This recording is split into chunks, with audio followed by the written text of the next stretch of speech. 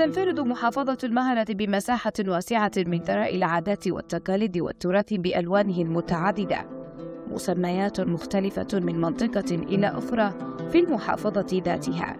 تطلق على هذه التشكيلات لكنها على المستوى العام تحمل في مضامينها هوية خاصة بالإنسان المهري مع هذا التفرد والثراء يظل الأهالي على مستوى كبير من المسؤولية في الحفاظ على موروثهم جيلا بعد جيل.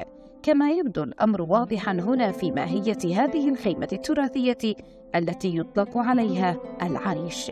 هذا العريش استمرت تقريبا في حدود شهرين. من البداية أول صلحنا لها كبت وبعدين صلحنا لها سور هكذا وبعدين جبنا يعني هذا السعب السعب طبعا جبناه من فوق المزارع. بالرغم انه في القريب هنا ما شيء موجود. من بعد اعصار اللبان يعني النخيل اغلبها كلها راحت. وحاولنا نحن نجمع هذه الاسعام من كل مكان حتى صلحناها. وجمعناها في هذه الفترة كلها كاملة. أيضا العيدان هذه العريش أيضا ما دخل فيها لا حديد ولا زياج. كلها من خشب ومن أيضا السعف حق النخيل. إقامة مثل هذه الخيام حدث متوارث من الآباء والأجداد ومعها اعتاد الأهالي تجديدها من خلال تشييدها من سعف النخيل ومستلزمات أخرى مستخلصة من بيئة المجتمع. يتخذ السكان من هذه الخيام مكانا لاستقبال الضيوف والزوار كما يجري فيها تقديم القهوة والأكلات الشعبية إضافة إلى اتخاذ سطح سقفها موضعا لتجفيف التمور خلال موسم الخريف. طبعا هذه المكونات كان نحن نلاقيه الصراحة ناقصة كثير بعض الحاجات وإن شاء الله في المستقبل نستقبل بعض الحاجات. حاليا لا في وقت المناسبات هي للمناسبات والاستقبال الضيوف وللعيد.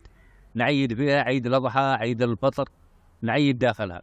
وبرضه نستعملها للسكن.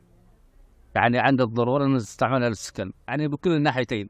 ونستعملها في موسم الخريف أيضا نجيب فوق التمر. تتكون الخيمة أيضا من مجموعة أدوات مرتبطة بالحياة التقليدية التاريخية كهذه الأجزاء المعدة للاستراحة والاسترخاء أثناء الجلوس وتبادل الكلام. وهنا يجري عرض هذه المقتنيات الخاصة بمشاغل الزراعة وتفاصيل كثيرة أخرى تحمل طابع الحياة القديمة من أدوات وغيرها. أما في هذا الجانب فتأتي أدوات المطبخ المهري القديم بتشكيلاته الزاخرة وصيغها الفريدة التي تفصح عن تاريخ عريق وأصيل. لبرنامج أسبوع البلد قناة المهرية محافظة المهرة.